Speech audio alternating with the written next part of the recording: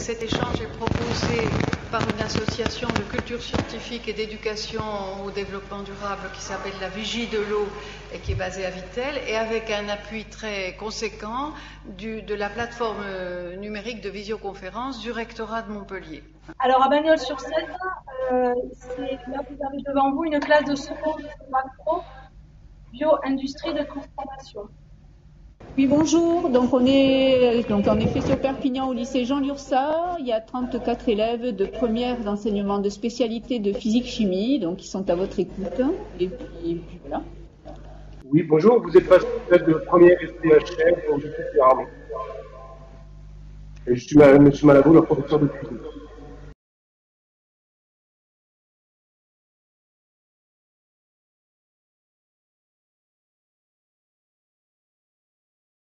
Alors ma façon de me présenter est la suivante. Euh, vous voyez, je prends, euh, j'ai un bêche, ça s'appelle, bon, peu importe comment ça s'appelle à vrai dire. J'ai un récipient et je vais mettre de l'eau dedans. Euh, je sais que ça sera peut-être pas très très très visible, mais vous pourrez refaire l'expérience chez vous. Vous allez voir, ça ne demande aucun matériel à part une que vous pourrez faire. Donc j'ai un verre d'eau. Et puis moi, je suis quelqu'un de simple. je suis pas très intelligent mais euh, je travaille très dur. Et ma façon de, ma façon de faire, c'est la façon des chimistes. C'est-à-dire que les chimistes, euh, alors il y a une phrase, tenir le probable pour faux jusqu'à preuve du contraire. Quand on me dit quelque chose, j'y crois pas. Et je veux une, une, espèce de démonstration ou de monstration. Alors, par exemple, on me dit la vitamine, enfin les vitamines, par exemple la vitamine C, c'est des antioxydants. Bon, alors, antioxydant, il y, a, cinq syllabes, et cinq syllabes, c'est déjà deux de trop. C'est-à-dire, personne ne comprend rien. Et en général, les gens qui disent ce mot, ils comprennent même pas ce qu'ils disent. Donc, j'invite tous les élèves d'abord à ne pas utiliser des mots de plus de trois syllabes, et ensuite, quand ils les, quand ils les entendent, de demander à leurs interlocuteurs, vous pouvez, est-ce que vous pouvez m'expliquer ce dont il s'agit? Bon, alors antioxydant, je n'y crois pas, je ne comprends rien, donc je vais faire une expérience. Alors l'expérience est la suivante. Je vous ai apporté ici un composé qui s'appelle le permanganate de potassium. C'est une petite poudre, euh, une petite poudre violette. Alors je vais la mettre dedans. Vous pouvez faire l'expérience. Hein. Le permanganate de potassium, ça se trouve chez le pharmacien. Voilà. Alors on met 3-4 cristaux, on agite, ça pourrait être une cuillère, et hop, on a une jolie, une jolie couleur violette. Voilà. Le permanganate de potassium, c'est très oxydant. Hein. C'est oxydant, ça veut dire, euh, d'abord il n'y a que trois syllabes, mais ça veut dire comme l'oxygène de l'air qui fait rouiller le fer ou bien comme l'oxygène, l'eau, enfin l'humidité de l'air et le dioxyde de carbone, ça fait du vert de gris sur le cuivre. Bon, donc ça veut dire que l'oxygène, il est dangereux. Hein. Euh, on en a besoin pour respirer, mais pas trop. S'il y avait trop d'oxygène, on aurait des ennuis. Et l'oxygène, il est ennuyeux parce qu'il est oxydant, mais les composés comme ça, ils sont oxydants et ils sont pas tellement bons pour la santé. Bon. Alors on me dit, la vitamine C, euh, c'est bon pour la santé parce que c'est antioxydant. Donc je vais faire l'essai. Il suffit simplement d'en rajouter un peu. Donc j'en rajoute un peu, voilà. Et je touille vaguement et craque tout d'un coup, la couleur violette disparaît. Voilà. Ça, ça m'a bien montré que la vitamine C est effectivement un antioxydant. Bon. Alors on me dit, la vitamine C, quand on la cuit, elle, perd ses capacités antioxydantes. Est-ce que c'est vrai? Alors je vous invite à mettre, je ne vais pas le faire aujourd'hui, je vous invite à le faire à la suite de cette, euh, cette euh, journée. Vous prenez la vitamine C, vous en mettez dans l'eau avec une casserole et vous refaites la même expérience. Et vous verrez vous-même si c'est vrai ou pas que la vitamine C perd ses capacités antioxydantes. Alors, vous avez vu que j'ai commencé l'intervention alors qu'on m'a demandé de me présenter. Eh bien, ça, c'est ma présentation. Moi, je suis, je suis, euh, je vous propose cette phrase. C'est une phrase en alsacien. riche was mer morte. Ça veut dire, on est ce qu'on fait. Moi, je suis ce que je fais et je suis exactement cela. Voilà. Donc maintenant, on peut commencer puisque vous savez ce que, ce que je suis. Je suis un chimiste. Moi, je suis à AgroParisTech à Paris. AgroParisTech, c'est une, une, grande école d'ingénieurs euh, spécialisée dans le vivant, l'environnement et l'alimentation. Euh, donc on y accède après des concours en maths sup et en maths spé, et puis euh, les gens font des études passionnantes, soit en biologie, soit en agronomie, soit pour l'environnement, soit pour l'alimentation. Voilà. Et je suis euh, professeur consultant à AgroParisTech, en plus d'avoir mon laboratoire de l'INRA dans AgroParisTech. Et donc c'est le bonheur parce que j'ai un laboratoire extraordinaire, je peux, je peux faire de la science, ce qui me la, science, c'est ce qui me fait lever le matin depuis, l'âge de 6 ans. Moi, moi, je veux aller au laboratoire pour faire des choses comme ça. Alors ça, c'est ce que je faisais quand j'étais petit, mais il y, en a d'autres, des expériences comme ça. Je vous en montre une. Enfin, je vous montre celle que vous pourrez faire. Alors, euh, voilà un flacon où j'ai mis du, du sulfate de cuivre. Le sulfate de cuivre, c'est une matière bleue que les gens mettent dans les vignes en particulier pour éviter des, maladies des vignes. Quand j'étais petit, j'ai fait cette expérience, j'avais 6 ans. Hein. Vous prenez un, crayon, vous mettez un fil et vous collez un cristal de permanganate au, fond.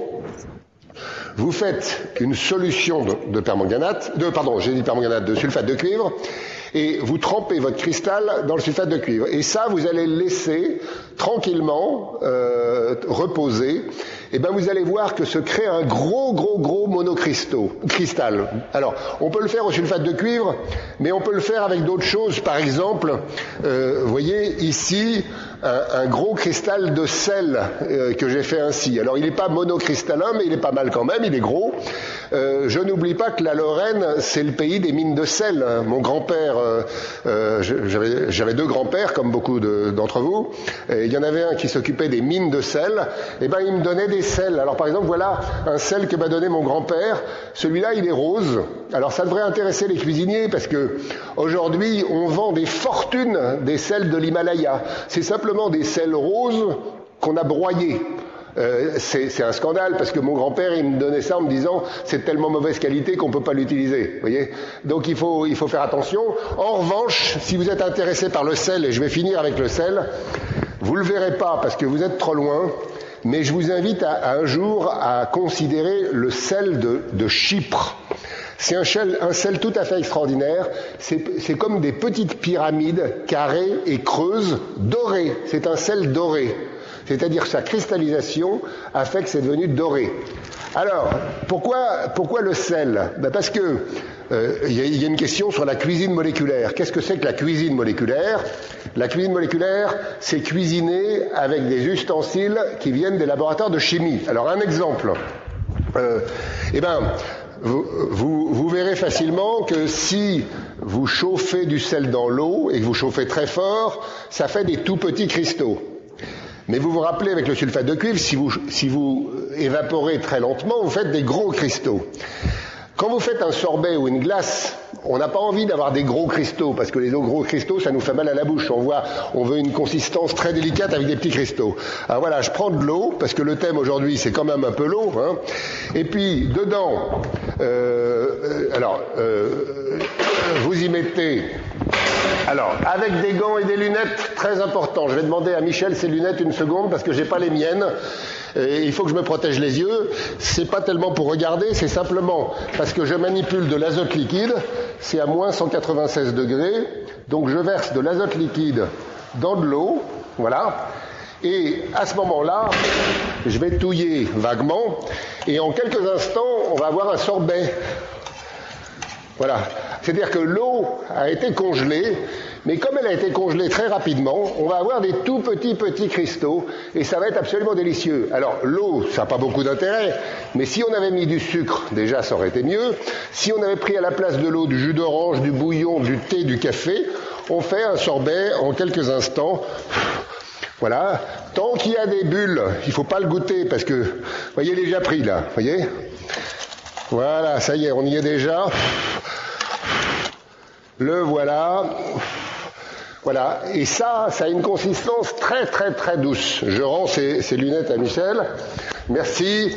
Donc vous voyez que euh, une expérience que je faisais quand j'avais 6 ans, elle est importante pour la cuisine parce qu'elle elle nous permet de faire mieux. Voilà le voilà euh, voilà l'introduction qui est faite. Alors attention euh, à une notion importante. Il ne faut pas confondre le danger et le risque. Alors j'explique. Vous voyez, voilà un couteau. Avec un couteau, on peut tuer quelqu'un. Donc un couteau, c'est quelque chose de dangereux. Bon. Si je le mets au-dessus de ma tête, suspendu par un fil, il y a beaucoup de danger. Mais il y a aussi du risque. Il y a le risque que le fil casse et que le couteau me tue. Si je referme le couteau et je le mets dans une poche bien fermée à clé, il y a toujours du danger. Le couteau, il est toujours dangereux, mais il n'y a plus de risque. Autre exemple, vous traversez la rue. Si vous traversez sans regarder, non seulement il y a du danger, mais il y a du risque. Si vous avez la rue, vous regardez à gauche, à droite, il n'y a pas de voiture, vous traversez, il y a toujours du danger, mais il n'y a pas de risque. Voilà. Il est très important de bien faire attention à légiférer et à réglementer sur le risque, pas sur le danger. Parce que si on légiférait sur le danger, on interdirait à tout le monde de traverser la rue, et ça serait idiot. Donc surtout ne pas légiférer, ne pas réglementer sur le danger. Quand vous serez ministre de la Santé ou quelque chose, euh, ne légiférez pas sur le danger, mais sur le risque. Et si vous entendez des gens qui proposent de légiférer sur le danger, dites-leur que euh, c'est pas bien et qu'il faut légiférer sur le risque. On m'a posé une, c'est euh, la, la, la, question des molécules. Alors je vais commencer comme ça. Euh, je, je, suis désolé pour ceux qui savent, mais euh, je sais qu'il y a une classe de, de première en particulier euh, je voudrais vous dire quand même que je suis allé récemment dans une, faculté de, de, droit, je vous dirai pas laquelle, où il y avait le doyen, le vice-doyen, le président de l'université, et je leur ai dit, est-ce que vous connaissez, parce que ces gens discutaient sur justement le risque des molécules, le glyphosate, des tas de trucs comme ça. Euh, ça me fatigue un peu, parce qu'en général, ces gens savent même pas de quoi ils parlent, euh, parce que le glyphosate, c'est un composé, et alors je, du, coup, je leur ai dit, mais est-ce que vous pouvez me dire la différence entre un composé et une molécule? Et ils savaient pas. Alors je dis pas que c'est c'est pas bien de pas savoir. Euh, quand on sait pas, il suffit d'apprendre. En revanche, prétendre savoir, ça c'est très malhonnête. Alors, comme c'est facile, je propose d'expliquer. Alors, moi j'explique toujours de façon simple. Voilà, je vais prendre de l'eau. Voilà, il y a de l'eau. Allez, hop. Voilà, j'ai de l'eau. Je l'ai versée. J'attends qu'elle soit bien immobile. Je vois un truc transparent. D'ailleurs, c'est bizarre parce qu'il n'a pas de couleur il est transparent et pourtant je le vois. Comment est-ce que c'est possible? Vous voyez, l'air entre vous et moi, il, il est pas de couleur transparent et on ne le voit pas. Comment ça se fait que l'eau, qui est incolore et transparente, on la voit? Je ne réponds pas à la question, c'est un cadeau que je vous fais ce matin. Donc j'ai mon eau. Elle est maintenant complètement immobile. Hein, on va attendre, supposons qu'on attende pendant une heure, elle est complètement immobile, on n'a pas de vibration, on a tout en main. Et je me demande de quoi c'est fait l'eau. Alors, si je prends une loupe et je regarde, je verrai rien. Je verrai un truc euh, transparent et, et, et incolore. Si je prenais un très très très très très gros microscope, je verrais toujours rien. Mais avec les outils les plus modernes, je verrais que, cette eau, elle est faite d'objets. Là, j'ai pris des balles de ping-pong, mais pensons à des objets. Et ces objets, ils sont toujours en train de vibrer comme ça. Voilà. Mais beaucoup plus vite que ça. Hein. L'eau, c'est ça. Et ça, c'est une molécule, c'est comme une molécule d'eau. Donc l'eau, avec si vous fermez les yeux, vous imaginez que c'est plein d'objets qui s'appellent des molécules d'eau qui sont en train de bouger. Tous ces objets sont les mêmes. Voilà.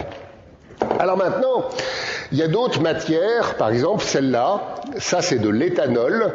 L'éthanol, c'est l'alcool qui se trouve à 10% dans le vin, à 4 à 8% dans la bière, le cidre, euh, dans la bière et le cidre, euh, à, à, à, 45% dans la vodka. Vous voyez la vodka, enfin 40 ou 45% là c'était combien? Je sais pas bien.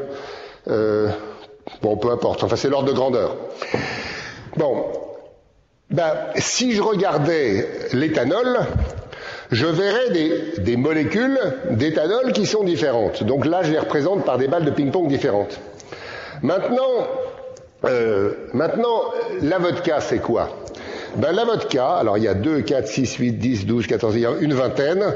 Donc vingtaine, je vous ai dit 40, euh, 40% donc 1, 2, 3, 4, voilà, 10%. 1, 2, 3, 4, voilà, 20%. Et bien la vodka, c'est à peu près comme ça. Vous voyez, il y a de l'éthanol, des molécules d'éthanol, parmi les molécules d'eau. Les molécules, c'est les tout petits, tout petits, tout petits objets. Et les matières, eau et éthanol, on appelle ça des composés. Donc la vodka, c'est un mélange de deux composés qui s'appellent l'eau et l'éthanol. Avec ça, euh, ça devrait aller. Donc je, me débarrasse de cette question maintenant, elle est réglée. Euh, donc vous, savez maintenant que c'est pas la même chose de parler de composés ou de molécules. C'est vraiment différent. Bon, un chimiste, c'est quelqu'un qui sait se débrouiller. C'est comme les cuisiniers. Hein. Voilà, je vais mettre de l'eau ici, dans ce bécher. Et je voudrais y, y mettre du goût. Bon. Alors, le, goût, par exemple, alors le goût c'est quoi déjà? Alors, euh, comme en général les gens savent pas très bien ce que c'est, je vous propose tout à l'heure de faire l'expérience suivante. Vous allez prendre, alors par exemple ça, euh, ce sont des herbes de Provence, donc vous allez faire l'expérience suivante. Vous en prenez un peu, voilà, dans le fond de la main. Vous vous, vous le nez et vous allez goûter. Alors en pour l'instant je sens rien. C'est-à-dire je sens une espèce de paille il n'y a pas de goût du tout. J'ouvre, ah, tout d'un coup, il y a l'odeur des arbres de Provence. Alors pourquoi? Parce que cette matière n'a pas de saveur qu'on sentirait dans la bouche, mais il y a des molécules odorantes qui remontent par l'arrière de la bouche vers le nez, et donc tant que c'est bouché, on ne le sent pas, et quand on ouvre, on le sent. Donc là, il y a des molécules odorantes. Si maintenant vous faites la même expérience, par exemple avec du sel, oh non, je vais prendre du sucre parce que c'est plus agréable.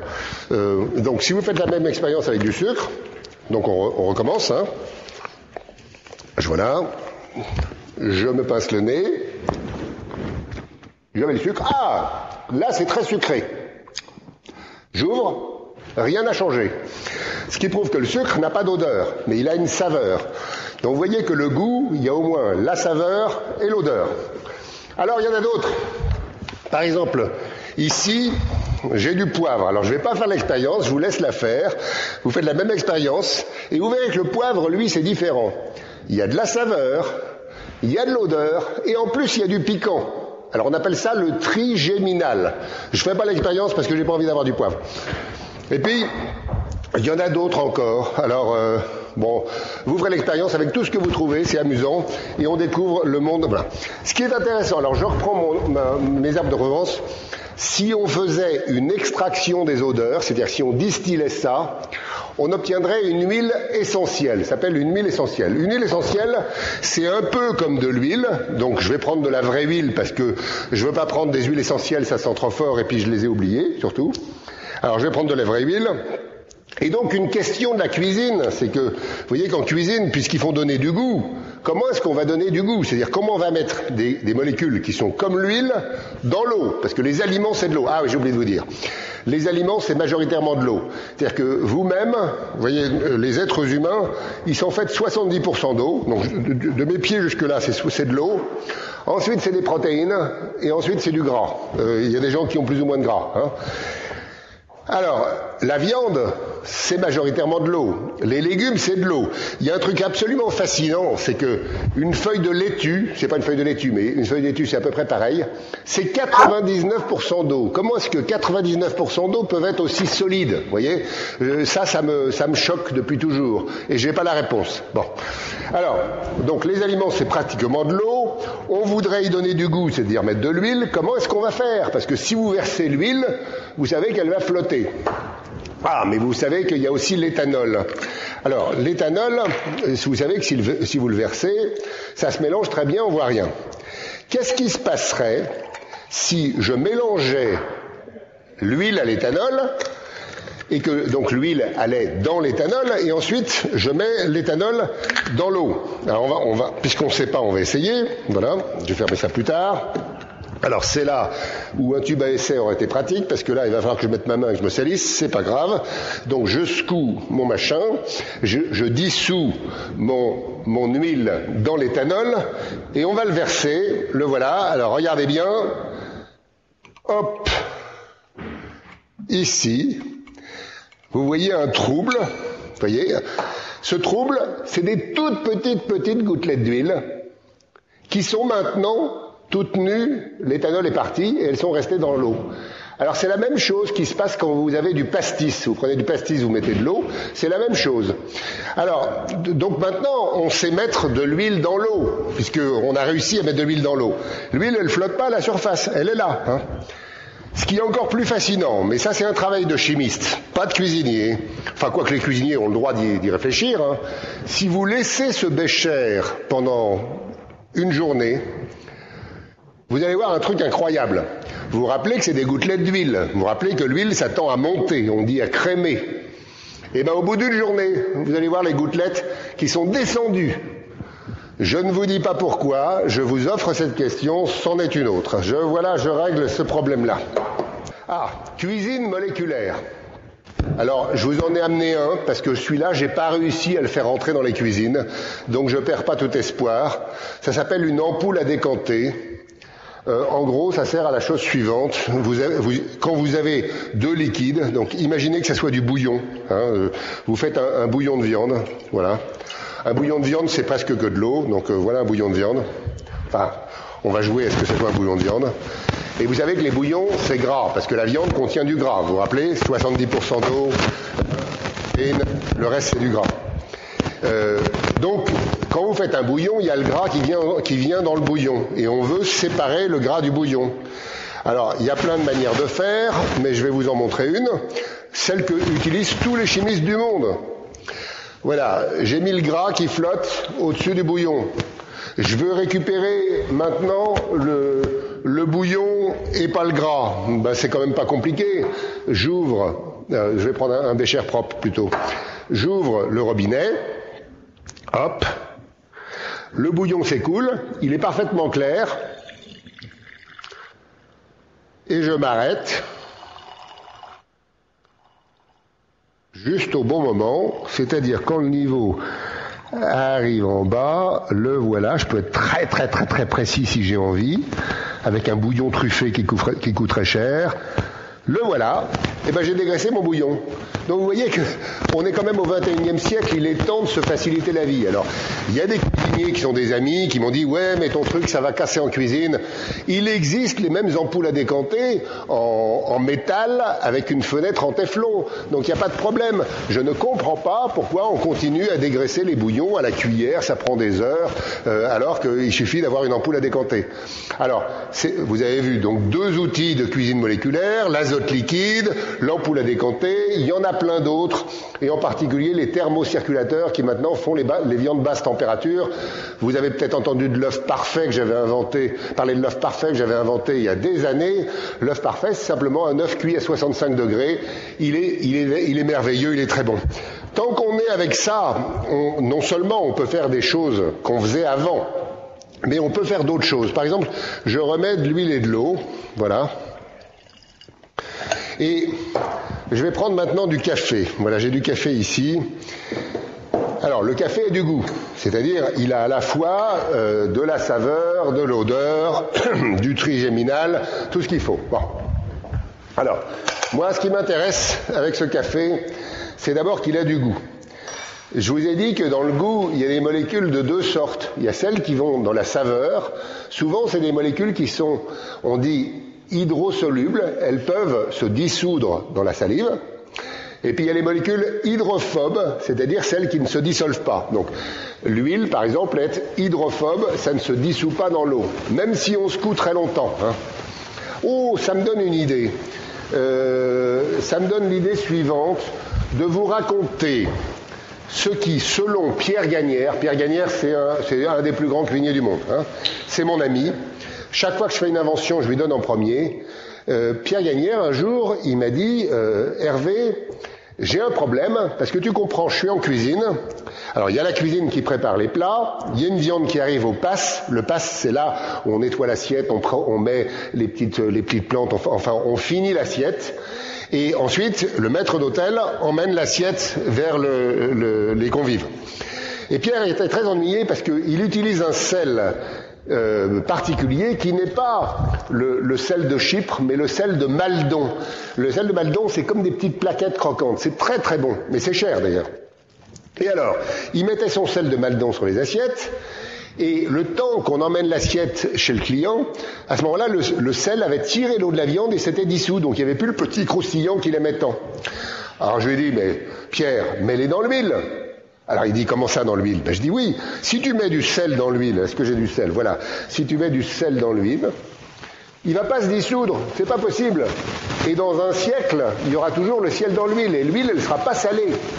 Alors il me dit, mais à quoi ça sert? Alors je dis, ben voilà, ça sert que ton sel maintenant, il est entouré d'huile, et donc il ne peut pas tirer l'eau de la viande. Et bien dans tous les restaurants du monde de Pierre Gagnère, c'est-à-dire à Dubaï, Dubaï, Hong Kong, Las Vegas, Moscou, Berlin, Courchevel, Saint-Tropez, Paris, Londres, et j'en oublie une dizaine, il a des petits flacons avec de l'huile et du sel. Pour lui, c'est ma plus belle invention. Pour moi, c'est un truc que je savais quand j'étais tout petit. Donc vous voyez qu'il suffit de pas, de beaucoup pour aider les cuisiniers à améliorer leur travail. Bon, alors maintenant, est-ce qu'on pourrait améliorer ça? Je reviens sur celle-là. Alors, imaginons que je mette du café dedans. Moi, je vais mettre du café. Alors vous allez me dire à quoi ça sert? Ben, je vais vous montrer. Alors je mets du café, voilà, de la poudre de café, hein, enfin du café en poudre, je sais pas, pas du café instantané, hein, du café qui a été moulu. Voilà, alors maintenant, je vais secouer. Et puis, pour l'instant, il y a l'eau, il y a l'huile, ça fait un mélange affreux. L'eau va sédimenter, l'huile va crémer. Mais alors maintenant, dans le café, il y a des molécules qui sont solubles dans l'eau, qui vont donner un goût à l'eau. Mais ça ne sera pas le goût de tout le café, ça sera une partie du goût de café. Et dans l'huile, il y aura un autre goût qui sera un autre goût, mais pas du goût de café, un, goût différent. Si vous séparez, vous avez deux liquides qui ont deux goûts différents, et ces goûts n'ont jamais été mangés. Et donc vous voyez que vous pouvez faire avec ça des émulsions, des mousses, des gels. Par exemple, euh, je vous donne une recette. Vous prenez un cul de poule, vous prenez un fouet, vous y mettez un blanc d'œuf, et vous allez mettre en fouettant comme une mayonnaise cette huile de café que vous aurez stockée pendant une semaine. Vous faites une émulsion blanche, j'avais appelé ça un Geoffroy, G-E-O-2-F-R-O-Y. Vous mettez ce Geoffroy dans une très jolie petite tasse, vous le passez au four à micro-ondes, plein pot, et en 15 secondes, vous avez un soufflé. Un soufflé au café, euh, chaud, euh, prêt à servir, vraiment. J'ai oublié le sucre, n'oubliez pas le sucre dans la recette. Hein. Ah oui, on m'a interrogé sur les lentilles. Alors, je vais pas faire l'expérience, mais elle est toute simple, parce que j'ai sali matin. Donc, on, me dit, euh, j'ai des lentilles, hum, j'ai un problème. Alors, j'aime beaucoup les problèmes. Euh, j'ai un copain qui m'appelle docteur cuisine, c'est-à-dire je règle les problèmes que les gens... Euh, donc, les lentilles, il y a des cas, elles cuisent pas, elles restent dures. Donc, donc il y a un problème. Voilà. Alors, dans les livres de cuisine anciens, il se dit beaucoup d'âneries. Euh, parce que ça n'a jamais été vérifié. Hein, ils ne savaient pas ce que c'était qu'un composé, une molécule. Donc ils, ont dit des trucs comme ça, c'est pas toujours vrai. Méfiez-vous des livres de cuisine anciens, hein, c'est pas toujours vrai. Hein. Par exemple, jusqu'en 1996, il était enseigné dans la plus grande école de cuisine du monde, je vous dirai pas laquelle, qu'il fallait toujours fouetter les blancs en neige dans le même sens parce que sinon ils montaient pas. Ce qui est pas vrai. Je me suis amusé exprès à fouetter dans les deux sens et ça monte pareil. Donc il y, a, plein de choses. Pour ceux qui sont intéressés, tous les troisièmes lundis du mois, on a un séminaire de gastronomie moléculaire où on teste une idée comme ça. Euh, par exemple, le mois dernier, on a testé l'idée, est-ce que c'est vrai qu'il y a une différence entre, quand vous faites un beurre noir, entre mettre le beurre noisette dans le vinaigre ou le, la vinaigre dans le beurre noisette? Eh ben, oui, il y a une différence. Et, et ça, c'est très extraordinaire. Ça n'a jamais été décrit voyez Alors, ça fait l'objet d'un compte rendu que j'écris avec des photos. Si vous voulez recevoir gratuitement ces, documents, vous m'envoyez un email à ICMG, donc comme Irène, euh, Marie, euh, C comme Claude et G comme Gustave, agroparitech.fr et vous recevrez les comptes rendus. Alors sur les lentilles, euh, ça maintenant je vous invite à faire l'expérience. Vous prenez trois casseroles, vous prenez les mêmes lentilles, vous en mettez dans les trois casseroles avec la même eau pure. Hein. Dans une casserole, vous ne mettez rien de plus que les lentilles et l'eau. Dans la deuxième casserole, vous mettez du permanganate, du, pardon, du bicarbonate de, de, sodium. Et dans la troisième, vous mettez du vinaigre. Voilà, du vinaigre. Vous les cuisez pendant le même temps. Vous allez voir que avec l'eau pure, vous arrêtez la cuisson quand les lentilles dans l'eau pure sont cuites. Vous allez voir qu'avec le bicarbonate, c'est de la purée, et avec le vinaigre, c'est dur comme des petits cailloux. Donc première chose, l'acidité est très gênante. Mais en réalité, c'est pas l'acidité qui est la plus gênante, c'est quand même le, le, calcium. Il y a des eaux calcaires, et avec des eaux calcaires, les lentilles, elles durcissent comme des brutes, et après on peut plus se débarrasser du durcissement. Donc voilà la réponse à, la question des lentilles. Euh, alors le sel, est-ce que le sel euh, joue un rôle? Alors oui et non. Si vous avez un sel très pur, il n'y a pas de calcium dedans. Mais il y a certains sels gris, par exemple, qui contiennent beaucoup de calcium. Et ceux-là, ça apporte du calcium qui font que les lentilles sont dures. Voilà. Donc euh, si vous avez une eau calcaire, toujours une pincée de bicarbonate pour cuire vos lentilles. Ça, aidera et, ça, accélère considérablement la cuisson. Hein. c'est aussi valable pour les légumes verts. Les légumes verts, quand vous mettez une pincée de bicarbonate, ça cuit plus, ça cuit en moins de temps. Et quand ça cuit en moins de temps, ça conserve plus le vert. Voilà. Bon, alors ensuite, il fallait qu'on parle de polyphénol, ah, de, de couleurs, de couleurs, de couleurs, de couleurs. Comment on va faire? On va, alors je vais vous montrer un truc tout à fait rigolo. Enfin, j'espère que c'est rigolo. Hein. Euh, moi, ça m'amuse en tout cas. Voilà, voilà une matière que, j'adore.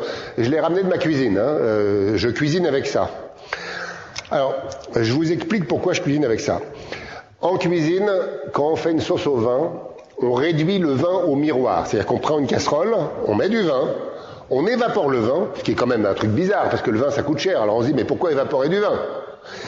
Une fois que c'est évaporé, il reste un tout petit peu au fond, on remet du vin et on réévapore. Alors, dans le temps, je me suis dit, mais enfin, c'est quand même incroyable, quoi. On, a du vin qui est cher et on évapore. Euh, dans, le vin, vous vous rappelez qu'il y a, l'éthanol. L'éthanol, ça coûte de l'argent. Pourquoi est-ce qu'on va évaporer l'éthanol? C'est c'est pas normal. Bon, alors, j'arrive plus à refermer. Ah, ça y est, c'est refermé. Euh, donc, pourquoi évaporer du vin? Alors, réponse, parce que ce qui nous intéresse dans le vin pour faire une sauce au vin, c'est pas l'éthanol, c'est pas l'eau, ce sont des composés variés et en particulier ce qu'on appelle des polyphénols. Alors, vous voyez, c'est une poudre, euh, une poudre violette. Ça, c'est les polyphénols de Syrah. Le Syrah, c'est un cépage, et c'est du, du Syrah euh, près de Montpellier, euh, de 2014. Alors, il suffit d'en mettre dans l'eau, peut-être un peu plus, on va, on va rajouter encore un peu, et, on a comme, comme la base d'une sauce au vin.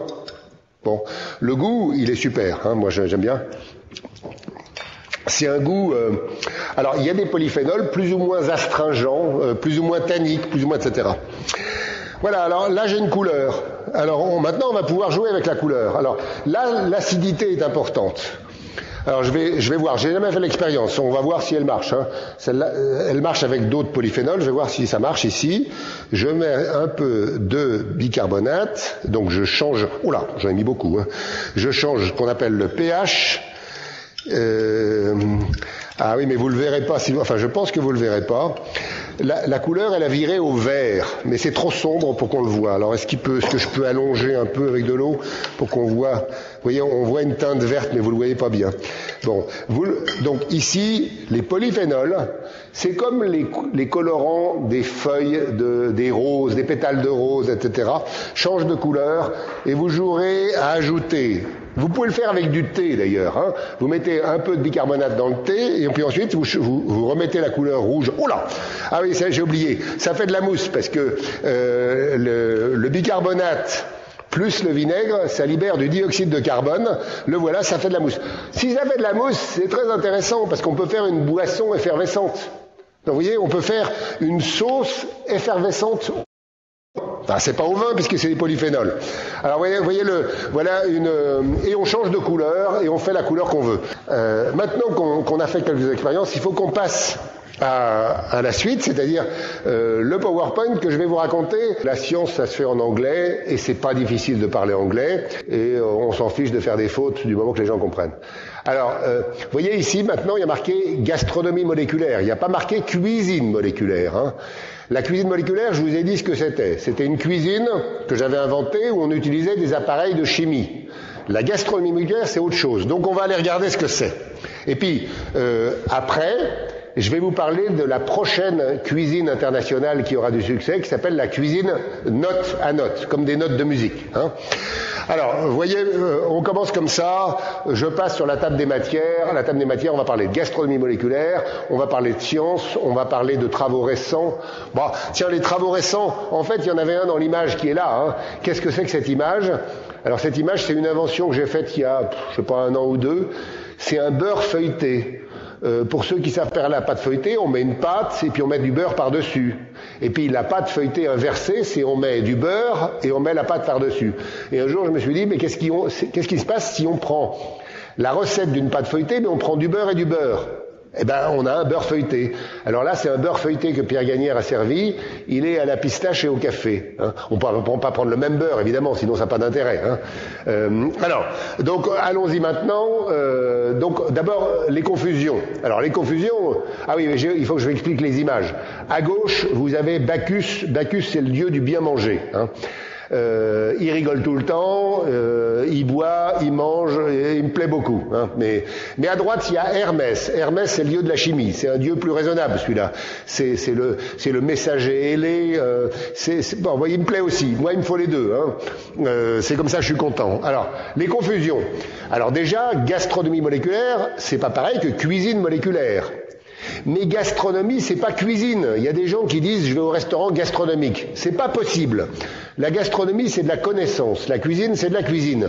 On va pas dans un restaurant pour avoir de la connaissance, on va dans un restaurant pour avoir de la cuisine. Et cette cuisine, elle peut être artisanale ou artistique. Avec ça, on parle français correctement et on dit pas n'importe quoi. Euh, la raison pour laquelle j'insiste un peu, c'est que dans le monde, vous savez qu'il y a des gens bien et il y a des gens moins bien. Euh, les gens moins bien, je les appelle des malhonnêtes. Et les malhonnêtes, ils profitent de toutes les occasions pour vous bourrer le mou. Et en particulier quand les mots sont ambigus, eh ben ils en profitent. Et voilà pourquoi moi, euh, je pense qu'un de mes rôles politiques, c'est d'expliquer euh, qu'il faut utiliser les bons mots. Voilà. Moi, je ne suis pas cuisinier. On peut pas m'appeler chef. Hein. Quand les gens m'appellent chef, je dis non, non, non, non, non, je suis pas chef. Euh, les chefs, c'est des artistes. Moi, je suis scientifique et je fais des sciences de la nature. C'est-à-dire, la cuisine ne sera jamais une science, contrairement à ce qu'a dit ce, ce, ce, bonhomme qui s'appelait Escoffier et que, à mon avis, a dit beaucoup de bêtises. Euh, ça, ça peut pas être une science. La science, elle va explorer la cuisine. Escoffier, il explorait pas la cuisine, il cuisinait. C'est pas pareil un technicien, un artiste, technologue ou un scientifique. Donc des confusions, il y en a plein. Science, art, technologie, technique, etc.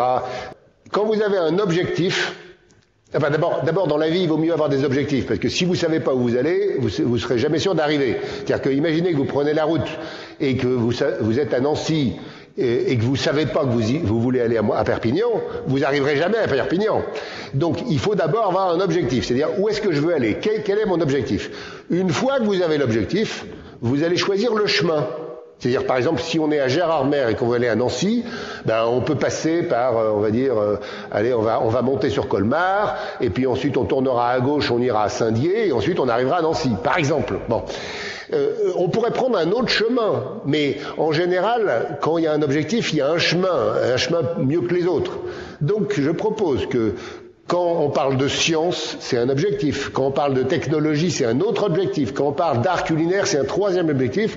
Un objectif, un chemin. Hein. Alors, euh, du coup, il faut savoir ce que c'est, ce que c'est tout ça. Alors, la technique, il s'agit de produire à manger. Par exemple, c'est la cuisine. Donc, c'est une cuisine artisanale.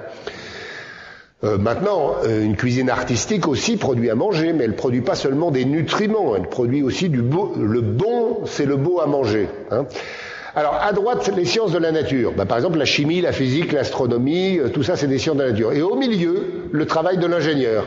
Un ingénieur, c'est quelqu'un qui ne fait pas de science, qui ne fait pas de technique, mais qui fait passer les résultats de la science vers la technique. C'est donc très important. Les ingénieurs sont dans l'industrie, les scientifiques sont en général employés de l'État, soit à l'INRA, comme moi, l'Institut national de la recherche agronomique, qui est un très beau centre à Nancy. Alors, donc j'ai dit, le technicien, il fait à manger parce qu'il produit, il produit des aliments. Bon. Euh, en général, il le fait avec beaucoup de soin. Par exemple, je, je, je suis prêt à parier qu'aucun prix Nobel au monde ne saura faire le gâteau qui est en haut à droite.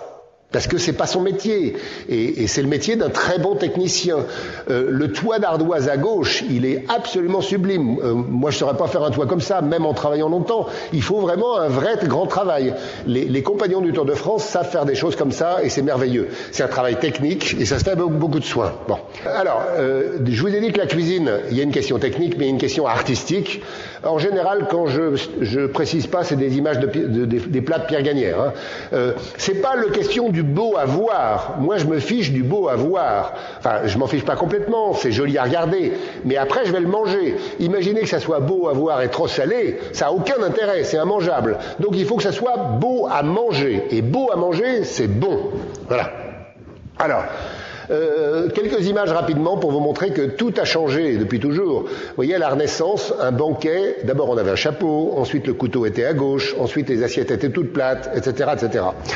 Il y a eu un, un chef de génie qui s'appelle Carême, et Carême, il a inventé la cuisine monumentale. Si vous voyez, ça commence à, à monter. Hein. Alors, c'était une très très belle cuisine, pas seulement bien construite, mais aussi bien cuisinée. Alors maintenant, c'est des images que je trouve absolument fascinantes. En 1950, pour avoir trois étoiles au guide Michelin, on mangeait ça. Des truites fourrées à la banane. Vous vous rendez compte? Trois étoiles. Trois étoiles guide Michelin. En 1965, on avait trois étoiles avec un, un, morceau de saumon dans une sauce à l'oseille. Jamais personne n'aurait trois étoiles avec ça aujourd'hui, c'est pas possible. Alors, on, on, passe quelques années, vous voyez, 76, Bocuse. Ah, regardez que Bocuse, qui est mort aujourd'hui, eh ben, il avait une cuisine qui montait. Hein. C'est très intéressant. Alors, ensuite, 2018, regardez comme ça change en 2018. Ça ressemble plus à des trucs de forêt à la banane, ça. C'est vraiment très différent. Hein.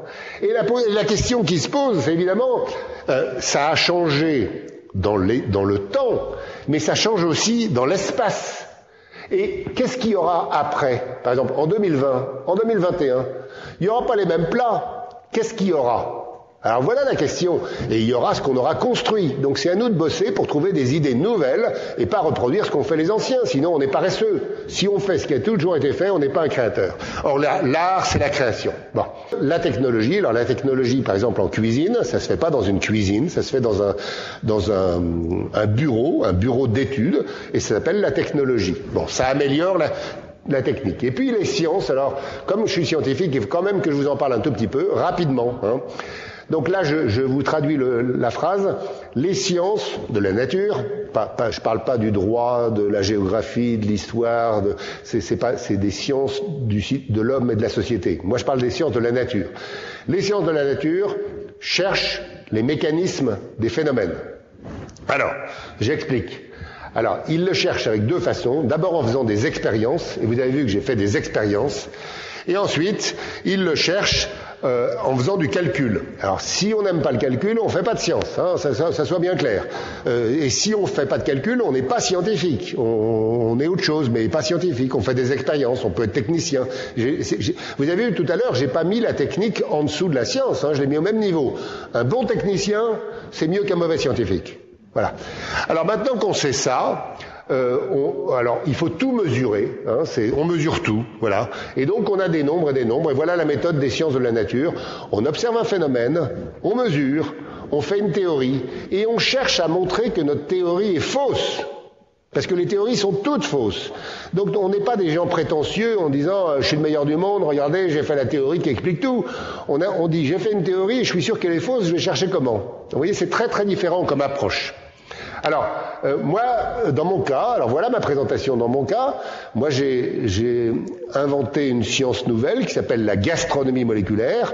Et ben ça, c'est, je regarde, enfin pas, je suis pas seul, maintenant il y a 34 laboratoires dans le monde, hein, on regarde ce qui se passe quand on fait, euh, alors là j'ai mis une photo de, de Bekaofa, c'est un plat alsacien, ou bien euh, la choucroute, vous voyez, euh, il se passe des tas de choses dans la choucroute. Par exemple, quand on cuit les pommes de terre, elles s'amollissent. Pourquoi les pommes de terre deviennent tendres euh, euh, Ou bien, tiens, le coq au vin, pourquoi ça change de couleur Ou bien, tiens, voilà un, un, joli, tiens, dans le feuilletage, pourquoi est-ce qu'il y a du brun qui apparaît sur la pâte feuilletée quand on cuit hein Est-ce que c'est dû à des protéines Alors, moi je suis payé, je suis payé par l'INRA, c'est-à-dire par le contribuable fiable, je suis très responsable, je dis pas n'importe quoi. Je suis payé pour étudier la mayonnaise, le coco vin, la tarte au mirabelle, enfin tout quoi. Hein. Euh, c'est mon métier. Hein. Et le couglop, tiens le couglop. Alors euh, ceux qui m'enverront un, email, je leur dirai comment améliorer le goût du couglop. Euh, alors des exemples, on part toujours de cuisine et puis on veut faire des découvertes. On se pose des questions. Alors tiens, une question. Pourquoi est-ce que les abricots qui sont sucrés quand ils sont mûrs quand vous les cuisez pour faire une tarte, par exemple, ils deviennent acides. Je vous, j'en sais rien, je vous offre la question. Des questions comme ça, j'en ai 25 000. Donc vous voyez, il y a du boulot. Il y a du boulot pour tout le monde. J'arrive à quelques exemples. Alors, vous voyez, par exemple, on a eu euh, des travaux au laboratoire sur le, bouillon, le bouillon de viande. Alors, on fait des bouillons dans des matériels spéciaux, et puis on les analyse. À droite, c'est de la résonance magnétique nucléaire. Bon. Et puis, on a des, voilà ce qu'on a dans nos, alors ça, c'est combien de sucre? Il y a trois sucres qui sortent des carottes, quand on fait un bouillon de carottes. Du glucose, du fructose, du saccharose. Ce sont trois composés différents. Alors, on a des théories qui sont fausses, et puis on se pose des questions sur les mécanismes, comment est-ce que ça sort, comment est-ce que ces trois sucres sortent des carottes? On fait des, modèles euh, mathématiques, on s'amuse beaucoup, et puis on, améliore les théories, on améliore les théories, on améliore les théories, et puis on, améliore encore les méthodes. Vous voyez, dans le temps, pour analyser euh, un petit gramme de bouillon de viande, il nous fallait cinq jours. J'ai inventé une méthode qui aujourd'hui permet, alors je, euh, voilà le résultat ici, en dix minutes, on a le même résultat. Vous voyez, ça, c'est là, là, c'est de la technologie, mais ça nous permet d'avancer plus vite sur nos travaux. Hein. Maintenant, qu'est-ce que c'est qu'un aliment? Alors tiens, je, vous montre parce que ça sera peut-être utile plus tard. Un aliment, quand vous regardez un aliment, vous voyez qu'il y a des parties des parties euh, visibles à l'œil nu. Hein, vous voyez ici, il y a une boule blanche, il y a de la sauce au-dessus, ensuite il y a une boule blanche en dessous, ensuite il y a une boule jaune, ensuite il y a de la sauce et des herbes. Bon, c'est des parties. Si vous regardez chacune des parties au microscope, vous allez voir que chaque partie, elle est, elle est construite en quelque sorte. Vous voyez, ça c'est une émulsion. Hein. Donc les, les, les formes blanches, c'est des gouttelettes d'huile.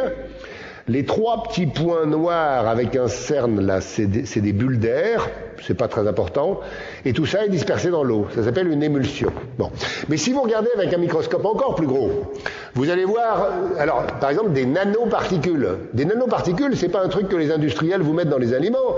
Il y en a naturellement dans le lait, par exemple, mais dans tous les aliments, il y a des nanoparticules. Alors, faut pas en avoir trop peur. Il faut, faut, quand même se demander euh, de, desquelles on parle. Hein et puis, si on regarde, eh ben, il y a des molécules qui s'assemblent. Et alors, par ici, ici, vous voyez, par exemple, des framboises, c'est rouge. Si vous mettez des sels d'étain, eh ben, ça s'assemble. Il y a une organisation qui fait que ça devient bleu. Donc, ne jamais faire de confiture de fruits rouges dans des casseroles en cuivre étamé sale. Euh, euh, sale, ça veut dire oxydé. Alors on invente des calculs, avec ça on a des formules pour chaque plat, donc je vous passe ça. Vous voyez, on, peut décrire chaque plat avec des formules. Tous les plats ont été décrits avec des formules, et puis donc on peut inventer des nouveaux plats. Alors les gels, alors les gels, c'est les, viandes, les légumes, les poissons, ce sont des gels, parce qu'il y a de l'eau dans un solide. Alors voilà des formules. Vous voyez, vous voyez une orange artificielle. C'est pas très difficile. Vous faites des, comme des petites perles avec un cœur liquide, avec de l'alginate de sodium, par exemple. Ici c'est du jus d'orange. Eh ben, vous voyez, les, perles de jus d'orange liquide, on les a collées ensemble. C'est comme une orange. Une orange, quand vous enlevez la peau, il y a des petits sacs qui sont pleins de jus d'orange. Ben, vous voyez, on a fait une orange artificielle. Alors vous allez me dire à quoi ça sert?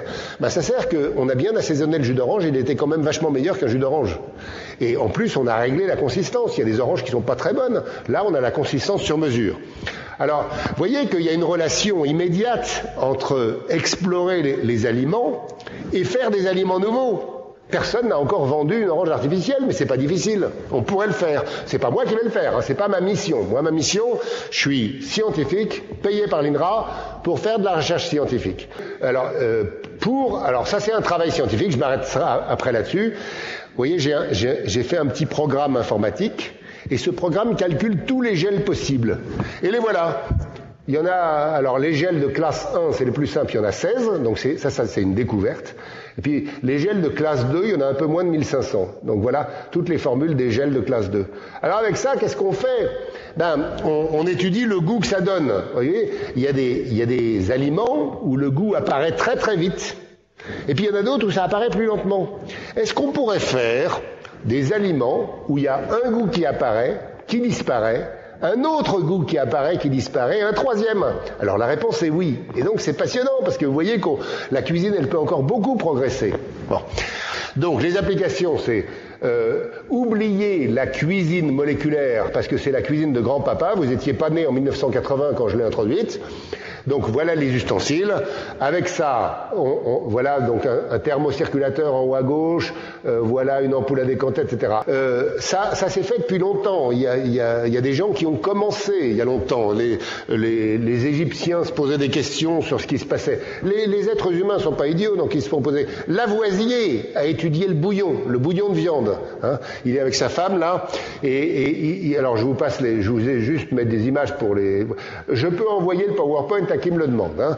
La question, c'est qu'est-ce qui sort de la viande quand on fait un bouillon de viande, par exemple? Alors, je vous passe les images, il y a des résultats, et puis j'ai vérifié les résultats de Lavoisier, et en, fait, c'était pas si facile, mais Lavoisier était un génie, il avait raison. Hein. Euh, son article est bizarre, mais il avait absolument raison. C'est quand on utilise beaucoup d'eau, qu'on extrait plus de matière de la viande. Et je ne comprends pas pourquoi aujourd'hui. Voilà. Lavoisier non plus, mais euh, on est en train d'essayer de comprendre pourquoi. Je ne comprends pas. Honnêtement, euh, je me suis encore posé la question hier, non pas à propos du bouillon, mais du café. Je ne comprends toujours pas. Euh, donc c'est merveilleux. Alors, euh, Parmentier est l'homme qui a inventé les tablettes de bouillon de viande. Il n'a pas fait seulement l'introduction des pommes de terre en France. Hein. Euh, Parmentier, c'était la Révolution. Rumford était un gars qui était très intéressant, qui, qui s'est consacré un peu à la cuisine aussi, comme ça. Et puis euh, Liebig, chimiste allemand, a fait ça aussi. Pomian, dans les années 50, il a écrit beaucoup d'erreurs, mais enfin, il, il s'était intéressé.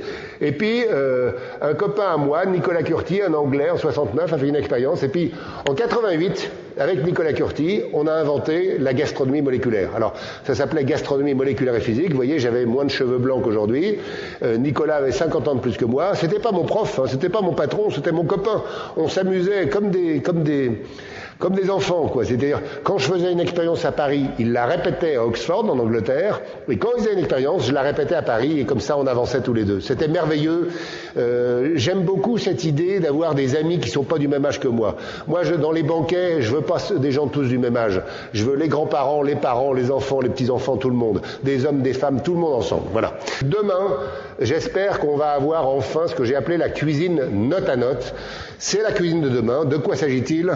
Il s'agit de dire, alors je vous prends une histoire pour terminer, mon grand-père avait des mirabelles. Les mirabelles, c'est très bien, on les attend toute l'année, et quand on les a, on en a qui tombent de l'arbre, on ne sait plus quoi en faire. Alors on fait une tarte, deux tartes, on en a marre, une confiture de, de confiture, on en a marre, une compote de compote, on en a marre. Alors qu'est-ce qu'on fait? Eh ben, c'est bien connu, on distille. Et mon grand-père, il était marrant parce qu'il me disait, tu vois, je vais mettre une baguette de bois dans l'alcool parce que comme j'ai pas de tonneau à l'extérieur de l'alcool, je vais mettre le tonneau à l'intérieur. C'est intelligent. Mais la question, c'est pourquoi mettre du bois? Alors, ce qu'il ne savait pas, et ce qu'un collègue de l'INRA qui s'appelle Jean-Louis Puech a montré, c'est que dans le bois, il y a une molécule qui s'appelle la lignine, enfin, un composé qui s'appelle la lignine. Et la lignine, c'est plein de ce qu'on appelle des groupes aromatiques. Bon, c'est un, un, terme de chimie, c'est pas un terme de odorant. Et quand on stocke la lignine, c'est-à-dire le bois avec l'alcool, on fabrique de la vanilline, qui est l'odeur de la vanille, enfin, l'essentiel de la. Alors, vous voyez que euh, moi, je me suis tout de suite dit, bah voilà, je prends de la vanille et puis j'ai pas, j'ai pas besoin d'attendre 20 ans. Alors, c'était le début. Après, des, alors ça donne de très bons résultats, oui. Après, des collègues de l'INRA de Dijon ont étudié les vieux Bourgogne, les vieux vins de Bourgogne, et ils ont découvert que dans ces vins, il y avait du para-éthylphénol. Et ben, ce para-éthylphénol, ça donne une odeur tourbée au whisky. Oh ben, j'en mets dans mes whisky, comme ça, j'ai pas besoin d'acheter des whisky plus chers. Alors, j'avais mis un composé, de composé, mais voilà l'idée de la cuisine de Tanote. Oublions les fruits, les légumes, les viandes et les poissons, on va cuisiner avec des composés. Alors, en voilà un, en voilà un deuxième, en voilà un troisième, en voilà un quatrième, en voilà un cinquième. Il y en a déjà plein qu'on utilise en cuisine. Le sucre, c'est un composé. Euh, alors, est-ce qu'on peut faire la cuisine avec ça? Alors, les gens ont peur, bien évidemment, hein, parce qu'ils ont toujours peur, de toute façon. Enfin, pas tous d'ailleurs, certains. Mais voyez, vous, allez voir que c'est évident. Dans le temps, on jouait de la musique avec des instruments, c'est à gauche. Dans le temps, on cuisinait avec des fruits, des légumes, des viandes et des poissons, c'est à droite. Il y a 100 ans, 100 ans, hein, c'est il y a longtemps, à gauche, on a analysé les sons. Et il y a 100 ans, on a analysé les aliments et on a découvert que les aliments sont faits de composés alors que les sons sont faits d'ondes sonores. Il y a 50 ans, il fallait une pièce d'ordinateur pour faire de la musique de synthèse. Et aujourd'hui, un synthétiseur coûte 23 euros. Devinez ce qu'il y aura à droite eh bien, il y aura une, cuisine de synthèse, et cette cuisine de synthèse, je l'ai appelée cuisine note à note. Alors, après, on, euh, on se dit, ben regardons, une carotte, c'est des composés. Pourquoi est-ce qu'on les organiserait pas différemment? Je prends les mêmes composés, donc ils sont pas plus toxiques, c'est les mêmes. Eh ben, crac, je les organise différemment, j'ai un autre plat. Et comme il y a un nombre infini de combinaisons, je peux faire un nombre infini de plats nouveaux qu'on n'a jamais mangés, des goûts qu'on n'a jamais eus, des consistances qu'on n'a jamais faites. Et c'est donc très excitant du point de vue, euh, du point de vue de la gourmandise. Alors, il y a des gens qui me disent ouais mais c'est long parce que vous comprenez, il faut faire la consistance. C'est pas vrai. On, le montre. Alors ceux qui voudront voir euh, des expériences iront sur le site d'AgroParisTech. Comment vous allez manger vous en 2050 Moi je serai mort. Euh, mais vous, vous serez sans doute 10 milliards sur la Terre. Aujourd'hui, on nourrit à peine 7 milliards. Donc il y a un vrai problème, ça s'appelle la sécurité alimentaire. Qu'est-ce que vous allez faire pour ça? Ou bien, euh, qui va faire quelque chose pour vous? Est-ce que vous êtes posé la question? Donc je vous propose de vous la poser. Hein. Euh, S'il n'y a pas assez à manger, il y a une guerre mondiale. Moi je m'en fous, je serai mort. Euh, donc maintenant, euh, alors, quand même, je vous donne un peu d'espoir. Le gaspillage euh, alimentaire, c'est beaucoup, beaucoup, beaucoup. Et donc, si on réduit le gaspillage, on aura plus de monde. Euh, alors la cuisine note à note est certainement une façon, mais je veux arriver à vous montrer des images pour terminer, des images de cuisine note à note. Alors j'ai voulu que ce soit mon ami Pierre Gagnère qui serve le premier plat de cuisine note à note dans un restaurant. Ça nous a pris six mois à construire, c'était la première fois, c'était en 2009, hein, donc il y a dix ans. Et puis depuis, eh ben, il y a de plus en plus de plats. Alors au début, il y avait encore des champignons qui traînaient, ça sert à rien. Hein. Euh, il y avait encore des herbes, ça sert à rien. Une framboise, ça sert à rien. Ah, voilà, là c'était vraiment moderne. Et puis en 2011, pour l'année de la chimie à l'UNESCO, on a fait des plats extraordinaires. Sauf que à la fin, alors pardon, j'ai oublié, le cylindre orange à gauche, c'est pas une carotte, hein, c'est un cylindre orange. Hein. Euh, à la fin, ils m'ont mis, ils m'ont remis des fruits. Oh, j'étais furieux. Euh, ils ont, ils ont tout gâché. Bon, alors euh, ensuite on a continué parce qu'on n'arrête pas. Je vais dans le invité par les ambassadeurs de France, je vais dans tous les pays du monde pour présenter cette cuisine de note. Donc voilà, ça s'appelait, ce plat s'appelait le cordon bleu. Montréal, euh, les boissons c'est facile à faire. Voilà des plats de cuisine de note qui ont été faits à Montréal. Ah, c'est un Alsacien. En 2016, il a fait des sushis. Il n'y a pas de poisson et il n'y a pas de riz. Hein. C'est entièrement composé par composé. Le voilà en plus gros. Euh, il y a un jeune homme qui vient de créer des composés. J'ai pas la boîte ici, sinon je vous l'aurais montré. Donc c'est les composés odorants. Qui, il y en a 10 000 possibles. Et puis il y a un chef en Pologne, le meilleur chef de Pologne, qui a changé son restaurant pour faire ça. Et vous voyez, il a fait des tas de, il fait des tas de plats entièrement note à note. Euh, alors en Alsace, il y a un chef, Julien Bins, qui a très très bien fait euh, il y a quelque temps. Euh, voilà Julien Bins avec un des composés odorants. Voilà le menu. Ça, c'est pas un œuf. Hein. Euh, le jaune d'œuf, c'est pas un jaune d'œuf, et le blanc d'œuf, il avait du goût. C'est pas un blanc d'œuf. Hein. Voilà, voilà, voilà. Le macaron vert était à se damner, à se rouler par terre tellement c'était bon. Athènes, 1500 chefs, euh, et on a eu ce repas-là, voyez. Ça, c'est entièrement note à note. Ça, c'est un fruit imaginaire. À l'intérieur, il y a des graines mangeables. Alors, juste pour terminer, parce qu'il ne faut pas qu'on confonde. Moi, la cuisine, c'est pas mon métier. Hein, on est bien d'accord. Je suis pas cuisinier, je suis scientifique. Donc, moi, ce qui m'intéresse, c'est la flèche du haut. La gastronomie moléculaire est une activité scientifique. Et c'est parce que c'est une activité scientifique que je la fais à l'INRA. Voilà. Maintenant, la cuisine, c'est de l'amour, de l'art et de la technique. Si la science peut contribuer par la technologie à améliorer la partie technique de la cuisine, tant mieux. C'est aussi pour ça que l'État, c'est-à-dire les citoyens qui payent des impôts, donnent de l'argent. Les, citoyens donnent de l'argent pour qu'en retour, on leur produise de la connaissance, parce que la connaissance c'est quand même très important, et puis des applications techniques. Quand vous décomposez les aliments en plusieurs molécules et vous dites, vous nous dites qu'il y a plusieurs des millions de combinaisons possibles, l'alimentation note à note, la gastronomie note à note, on a l'impression que vous, comme si vous, pouviez manger ça dessus suite sans vous poser des questions. Est-ce que les combinaisons sont possibles? Est-ce qu'il n'y a pas de danger à mélanger une molécule avec une autre? Vous avez raison de poser la question. C'est évidemment des questions qu'on a regardées. Mais il y a une vraie, vraie différence. En pharmacie, la question, la question c'est de faire des nouveaux composés. Hein. C'est des composés qu'on n'a jamais faits. Donc on les a jamais mangés, on ne sait pas leur toxicité, on ne sait rien. Dans les aliments, euh, dans la cuisine Notanote, il s'agit de prendre les composés qui sont déjà dans les aliments. Vous voyez, par exemple, je prends le sel ou le sucre.